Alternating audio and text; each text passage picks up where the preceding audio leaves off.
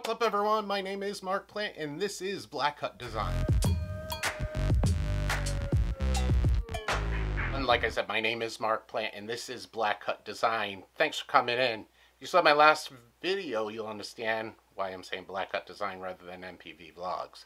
So if you haven't seen it, uh, this corner, I believe it's up here. If not, it's over here. Uh, there's the video. Check it out. In any case, thanks for coming in. If you're new to the channel, please hit the subscribe button down on the bottom there. Uh, let you go back and look at all the videos that I've done in the past. If you're already a subscriber, thank you so much. You're the reason why I'm doing this video today and why I'm able to do this video today. If you haven't already, hit that bell icon next to the subscribe button and you'll get a notification anytime I put up a new video. Uh, if you like this video, give me the thumbs up. You didn't like the video, go ahead, give me the other one, that's fine. Leave me a comment, let me know why you liked the video, why you didn't like the video, or anything else that you'd like to see. That being said, uh, like I said in my last video, I've started doing some 3D printing. Complete novice at it. No idea what I'm doing at first. I've been practicing, uh, so what I'm going to do is I'm going to show you what I do right now to do a 3D print. Might be the right way, might be the wrong way. If you're experienced 3D printer, give me some tips, give me some comments on what to do. So what do you say we head over to the 3D printer and let's print something out. So it's it's really not that difficult 3D printing. Uh, I mean, it can get difficult once you get into the designing part, but the printing itself really isn't that bad. Just as long as you pay attention and watch your controls. What I'm going to do here is I have a project that I've already created. Uh, I'm going to print it, but you have to do some things before you can print. Uh, first thing, if you notice over here, my bed is extremely horrible, dirty. That's going to need to be cleaned. Um, I also need to level the bed, so I'll show you how you level the bed. This printer here is an Ender 3 version 2. I got it, like I said in the last video, I got it off of Amazon. Really good price. Uh, so far it's done pretty well. Uh, I printed out a few things, like right here. I printed out a solid block letter. Uh, creating a sign. I'll show you that once I'm done with it. Uh, so, what do you say? Wait, let's clean the clean the bed and then level the bed. And then I'll show you how I do the printing, uh, how I bring it from the computer over to the printer. Alright, as you can see, this bed's pretty filthy right now. I printed out some, basically ear savers, the face masks that we have to wear for both my wife, my daughter, and I. Uh, those came out really good. I wish I'd shown that on video. Um, I'll show you those, how they came out, you know, towards the end of this video. First thing you need to do when cleaning the bed is you got to scrape up all the extra garbage. It does leave some. The only thing is you have to be careful that you do not scratch the glass bed, which I have done. So I do have some scratches in some areas. Okay, so get as much of that off as you can gently. And then the next step is you get yourself some isopropyl rubbing alcohol in a microfiber rag. Pour a little bit of the alcohol on the rag. Doesn't have to be that much. And just wipe it down. Eh, rag's getting in the way. Okay, what we do is wipe it all off. Switch over to a clean rag here. What you're seeing here, this is all glue. So that's going to need to be cleaned off really sticky. Holy mackerel, I think I got too much glue on there. That might have been one of my problems on the last one. I had too much glue. It takes some scrubbing to get it off. So I've been told that um, Windex will take this off too, but I think I got it there. I think this pass I got it. So that's what that's telling me is I'm kicking on the glue too much. Yeah, dry it off, make sure we got it all. I think I got that pretty clean now. That should be pretty good. Alright, so we got that all set. So now what I have to do is I have to, this is the most frustrating part of it, is I have to level the bed. We have to use an extreme technological device to level this bed. Piece of paper. That's it. So as you can see down here, that there is the nib.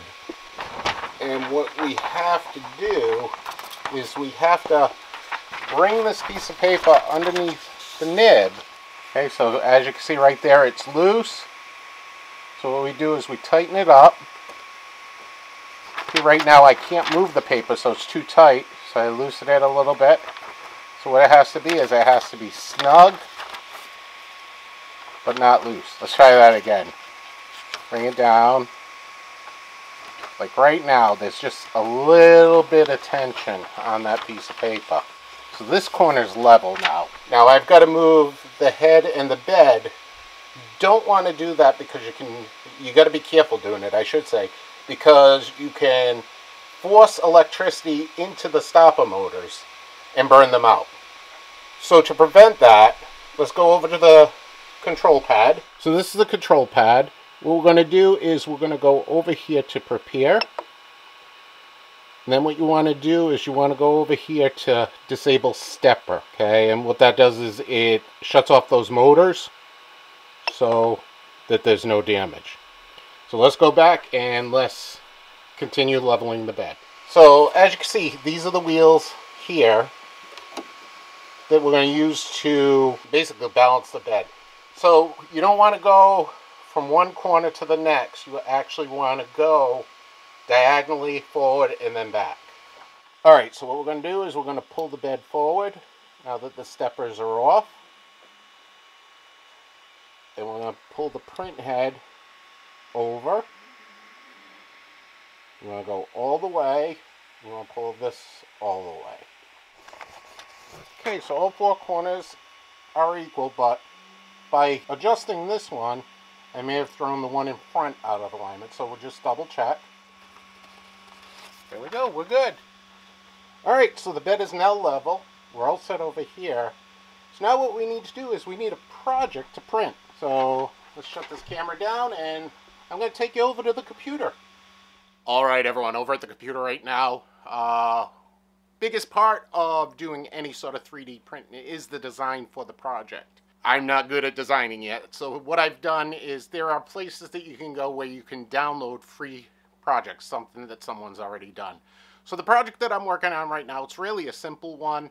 Uh, it is a light switch with Stitch from um, the Disney character Stitch coming off of it. So what I did was I downloaded two projects. One was the model of Stitch and the other was the model of the light switch. So I guess this would be Stitch's switch. Sorry, I cracked myself up. But anyway, I'll show you how that how I do it, or how to do it, or a way to do it. Uh, what I'm trying to teach myself is how to do the CAD so that I can create my own projects uh, to be able to print out. So once I'm able to do that, I'll show you how to do that. But what do you say? Let's go over to the computer now, and I'll show you the software that I use and how I bring it into the 3D printer. All right, so we are on the computer right now.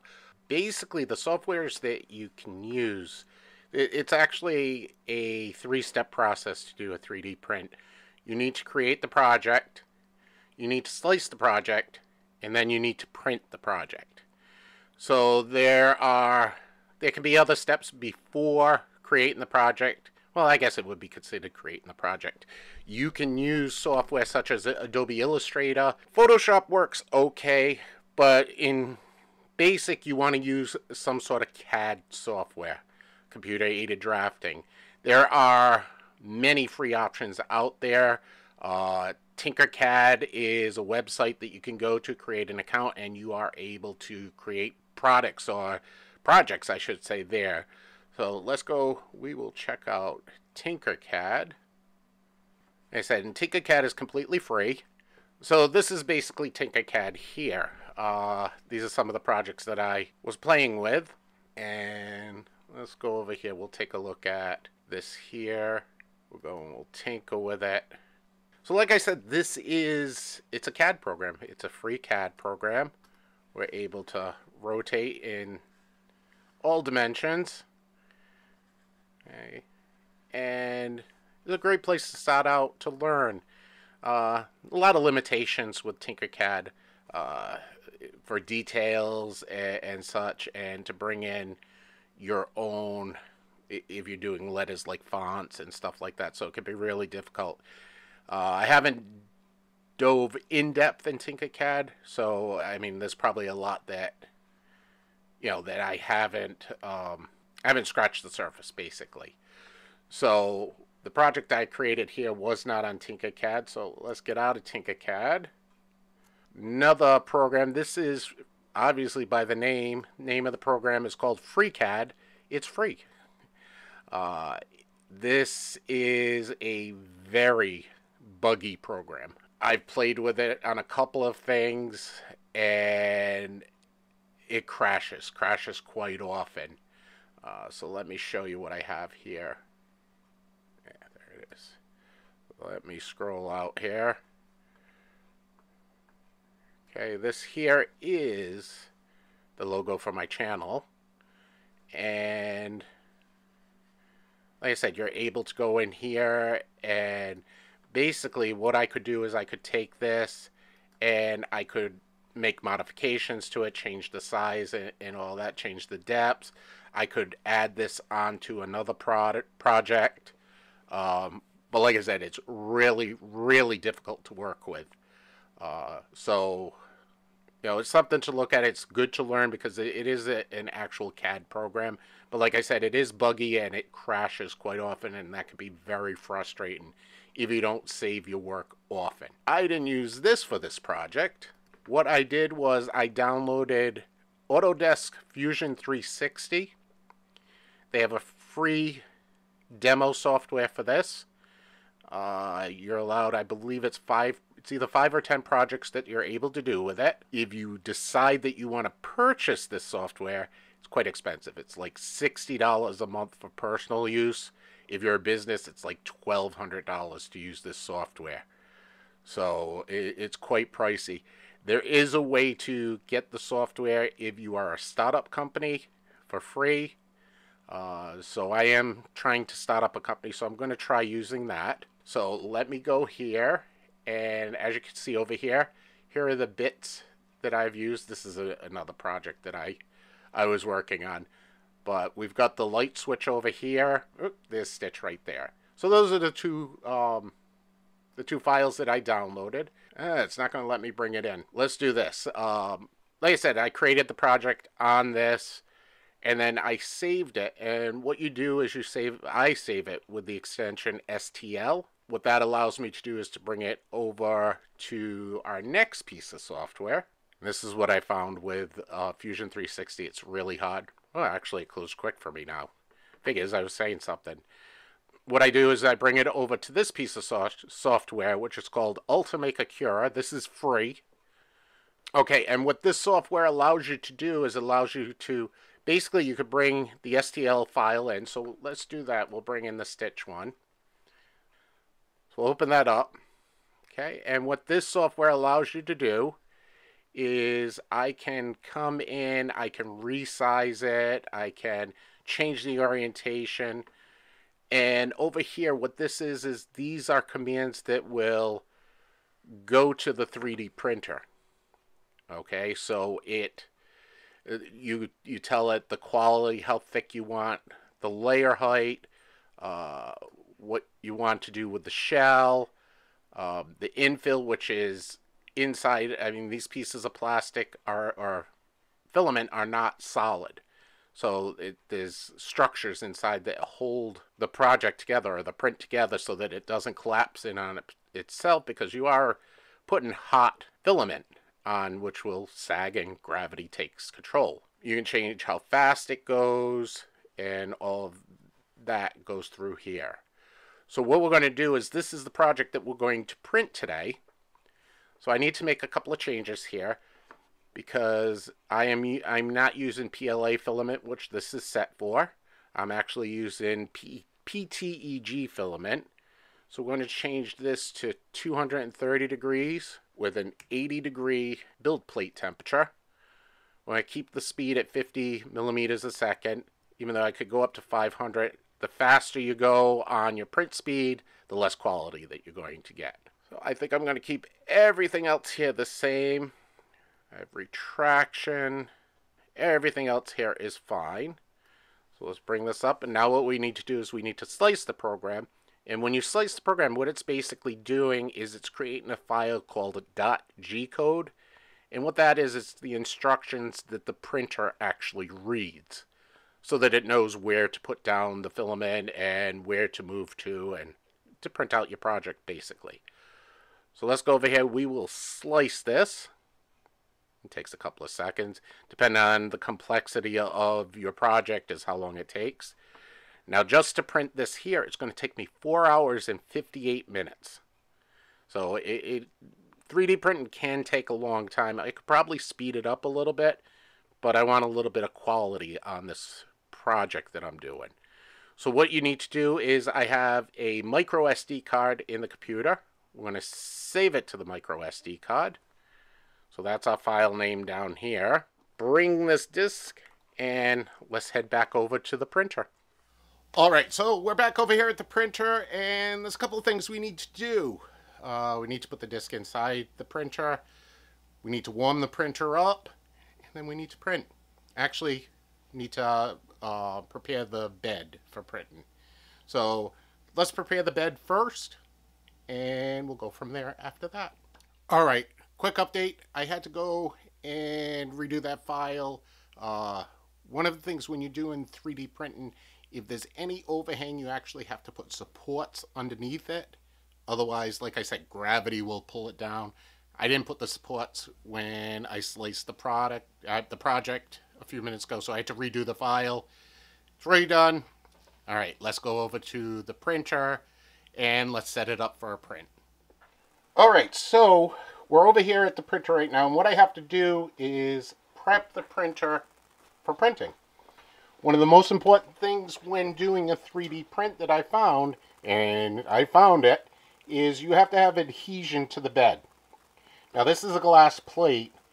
Uh, and like I showed you, I took all the garbage off with the alcohol. If I was to print on this right now, the filament's most likely not going to stick. Uh, I'm using a filament that's called PETG, and yeah, that'll slide all over the place. So what I have to do is I have to prep the bed so that I can print. As, as strange as it, it sounds, a 99 cent glue stick is what you use to prep the bed. So, uh, other people will use Aquanet hairspray. Uh, you can also put blue painter's tape on this. I haven't done that. I'm nervous about doing the painter's tape because this bed is heated up. It's up to 70 degrees Celsius, so it's pretty warm. So I'm afraid to put tape on it. But the glue has worked very well. Alright, so let's prep the bed. All you do, it's quite easy, get a good edge, and just cover the bed. This is a pretty big piece that I'm printing. It's going to take about five hours to print. So if you're interested in 3D printing and you want something quick, uh, you, you're out of luck. I mean, there are other printers out there that are a lot better than this one that will will print faster, but they're also going to cost two to three times as much. So as you can see, what I do is I go across the bed and then front and back on the bed to give good coverage, make sure it's completely covered. And that's it. That's how you prep the bed. So that bed's all set, should be good to go. So what we're going to do is let's go over here to the control panel. So what we're going to do is we will Let's turn on the printer. Okay, printer is on, so what we're going to do is let's go over here to prepare. Let's home the bed again. Okay, the bed is home. What we're going to do is preheat PLA. So what this is doing right now, it's preheating the nozzle and it's preheating the bed and once that's done I've already put the disk into the printer the SD card I should say let's go over here because sometimes it doesn't recognize the file. Let's make sure it recognizes the file. Okay, I ended up calling the file stitch plate. So once this is warmed up, we'll hit OK on the stitch plate. And then it should start running. Okay, we're just about there. Uh, give the bed a couple of seconds. It's going to take a couple of more seconds because once I open up the stitch plate file, it's going to get the configuration for that. So let's hit the button here. We'll open up stitch plate. Getting ready to print. Okay, what it's going to do, it's going to lay a layer of filament along the side there, and then it's going to come in and stop printing. Like I said, it usually heats up pretty quick. Takes usually about five minutes. Uh, which if you think about it really isn't that bad because that's a high temperature it's going to. Alright, so we're at temperature now. Let's click stitch plate. It's loading all the G-code from the SD card into the printer itself, into its computer. Take a couple of seconds to, and then we'll lay down a print. If you're looking to view details or uh, different parts of this print job, I am live streaming this right now. Uh, it is on YouTube as a live stream. Here we go.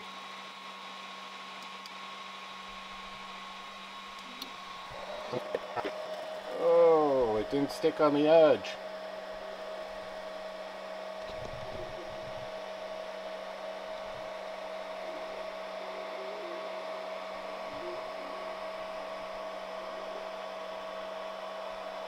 See if I saved it.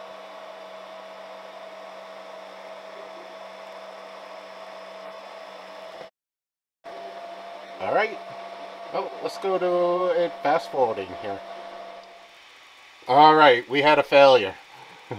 failure of epic proportions.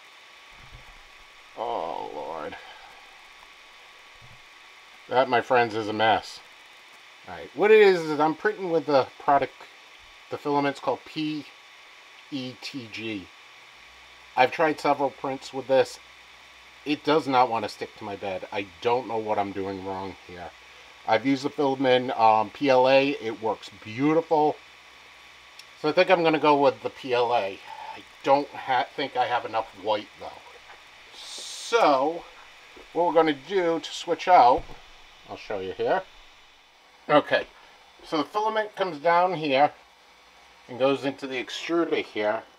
Like I said, I'm not happy with the stuff. Let's see if I can take it out. You don't want to lose control of it, like I'm doing right now. I don't think there's anything wrong with the filament itself. I don't, just don't know why it's doing this. So, like I said, it's PETG. I am just not having any luck with it. We'll put that aside. Okay, you can see the whole printer here. So, first thing I'm going to do, let's get this crap off the bed. Okay, the bed's cleared off. What I have here is this is PLA that was sent with the printer. I think I should have enough here to do this product project. I'm going to do it at the higher temperature. Uh, PLA usually extrudes at a lower temperature, but we'll try it with this. Okay, so that's in all the way now. Alright. Alright, let's try this again. I'm not sure with that warmer temperature. Might be too warm for PLA. We'll see. Alright, so we're up to temperature now. Stitch plate. Let's start it. Alright, hopefully I have enough PLA on this, this spool here to uh, print this thing. We will see. Alright, here we go.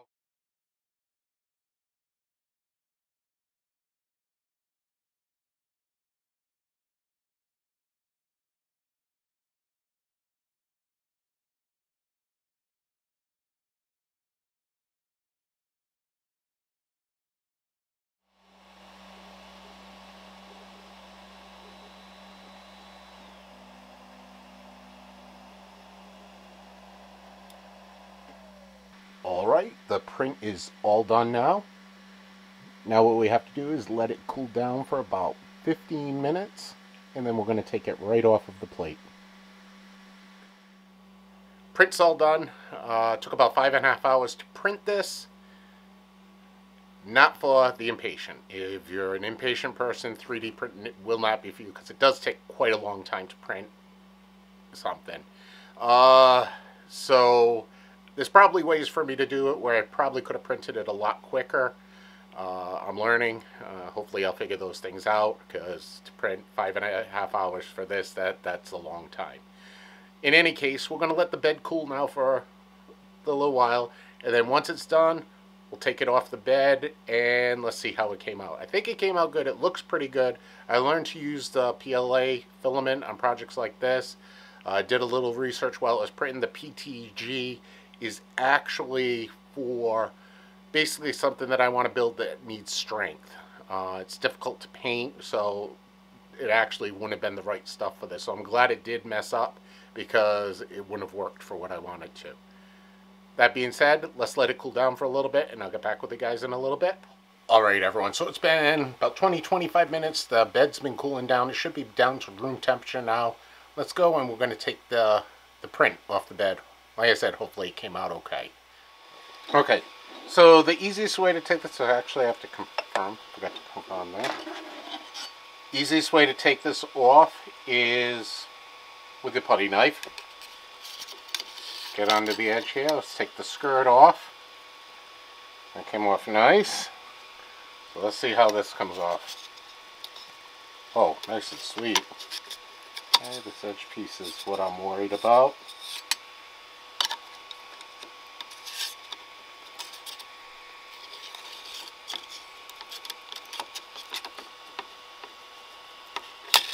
we go. Ooh, that came out nice. Came off nice and easy. A little bit of stringing here. And let's see how it came out. Not good. Actually, I think I need to clear all that out. Shoot, not happy. I know this is support. So all of that comes off. I'll need to sand that down. That's not good. Shoot. That is not good. Wall plate's fine. The stitch isn't. Alright everyone, well, that was a disappointing major fail. Uh, I said, the wall plate came up perfect. The stitch, eh, that did not come out the way that I wanted it to.